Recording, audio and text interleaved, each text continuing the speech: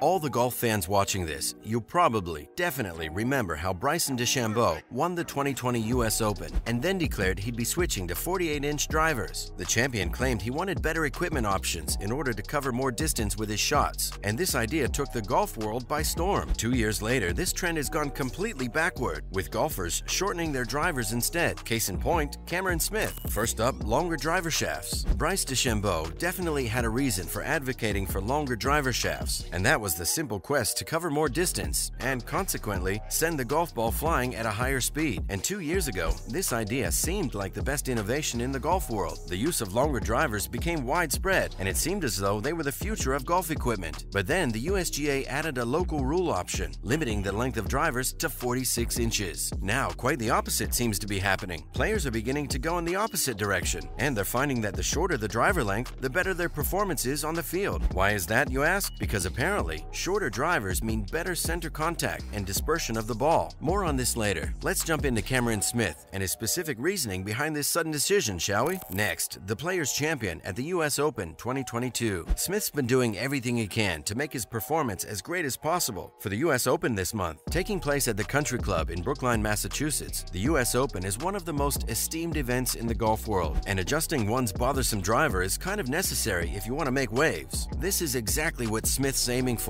being the Australian number one golf player with two PGA Tour wins under his name this year alone, not to mention his number 5 ranking in the FedEx Cup. In his last few starts, the player felt like his driver performance was not up to par. Yeah, pun intended, if we're putting it lightly. Definitely a cause of concern, considering him playing the leading role in the seven-strong Australian contingent and his goal to join Geoff Ogilvy and David Graham as US Open champions. The US Open is the one championship that the player thinks will let him play the best of his game, if his equipment doesn't let him down, that is. Smith's greatest struggle lately has been finding fairways on the golf course that are off the tee. Keeping the ball on the fairways is trickier in the US Opens, since they're barely won from the rough around the edges of the single lane fairways, a specialty of the tournament. On top of that, Smith ranks 151st on the PGA Tour and 143rd in strokes gains off the tee, giving him a DAP or a driving accuracy percentage of 56.70%, which, unfortunately, are numbers that rarely ever mean success in the US Open. This is a major cause of concern for both him and his coach, Grant Field, and the two have been working on improvement in this area of the game recently. This meant his driver setup needed to be examined as well, with a kind of examination that'd give the world number 6 the best chance of success in the US Open. Now, the change is made, so in the quest for gaining more control over his driver, Smith took off half an inch from the shaft. The player's regular Fujikura Ventus Blue 6X shaft was shortened, and the head of his Titleist TSI3 driver was adjusted too, with the weight of the head changed up a bit so that the swing rate of the driver remained the same. Smith's driver in the last few years was a 45-inch build, and it's only recently that he's chosen to use the 10-degree Titleist TSI3 driver instead. Believe it or not, he played with a 44.5-inch driver in recent years prior to this change, and sooner than later, several issues with the 45-inch driver he opted for came up. His dispersion and center contact was an area of constant struggle. Bothered, Smith told Titleist Tour rep JJ Van Wezenbeek he wanted to go back to a 44.5-inch driver again. Now, when you cut off even the slightest bit of a driver shaft, it means you have to add weight to the head of the club so that there's no discrepancy in its swing weight, and that's exactly what the duo did. After making sure that they got the driver weighted properly in the Titleist Tour truck, they went to the US Open's practice range and did a couple of test runs with the new driver. Needless to say, they weren't disappointed. Where the 45-inch driver was making the player struggle to exercise control over his ball flight and center aim, the 44.5-inch gave him no such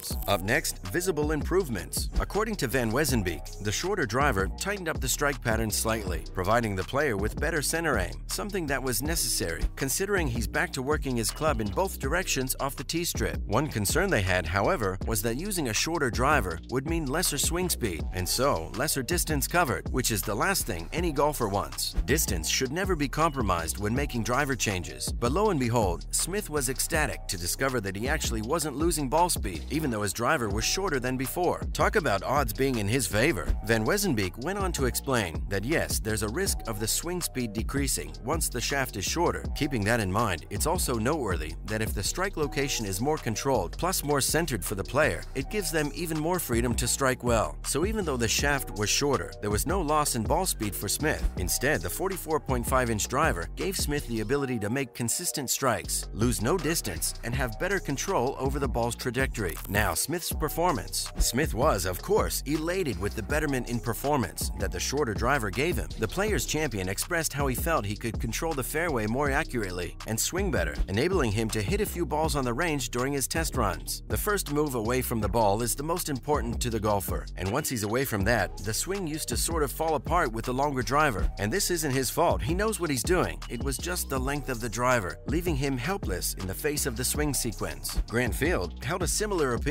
commenting on Smith's performance at Memorial, where he hit only 50% of greens in regulation for the week. At last week's RBC Canadian Open, he hit less than 49% of fairways throughout the four rounds. These stats weren't bad at all, of course, but Field pointed out how his ball striking, tee to green, was Smith's biggest strength so far, and having guided Smith from his Sunshine Coast base all year, Field has the best idea of his strengths so far, especially since their combined efforts and opted swing mechanics were what gave the athlete five PGA Tour titles and two titles in 2022 alone. Field admitted Smith could perform better in terms of ball striking at the Memorial, but he knew it wasn't the golfer's fault. After all, the player is number two in strokes gained approach the green, and his driver was much less of a problem after as well. The week before the PGA was the opposite for the player, who was either leading or second the whole week in ball striking and wasn't putting as well. Next, Smith at the US Open. Smith is confident that the environment of the US Open is one where he'd excel in his game. That is, if his long game performance matches up to that of his short game. Smith's been under the spotlight for seven years now. When he was 21 years old, tied for fourth at the 2015 US Open at Chambers Bay. Now he wants to make a bigger impact in the game, especially since he's much more acclaimed as a golfer, with plenty of accolades under his belt. The 28-year-old has expressed his inclination towards the US Open, talking about how the environment seems to bring out the best of his abilities. The higher stakes, the competition, and hence the demand for a good performance is exhilarating, to say the least, and it drives him to grind out good scores consistently. This year in particular, he was appreciative of the US Open venue, commenting on how it was one where he felt like he could flourish. Keeping that in mind, he took all the necessary precautions to ensure his game was top-notch for the 2022 US Open, working with his club fitter and Van Wezenbeek to undergo driver testing and tighten up his driver game, not settling for any less than the best. And it definitely paid off. There's a moral to this story for any golfer out there, amateur or pro. One should always aim to improve the consistency of their center contact when in search of the right driver. Swinging harder seems like the end-all, but it really isn't. The difference in distance doesn't matter when you can't control your driver the way you want to. That's a wrap for this video. What did you think of Smith's performance at the 2022 US Open? Let us know in the comments below. Make sure to give this video a thumbs up and subscribe to our channel for more videos like this. We'll see you in the next one.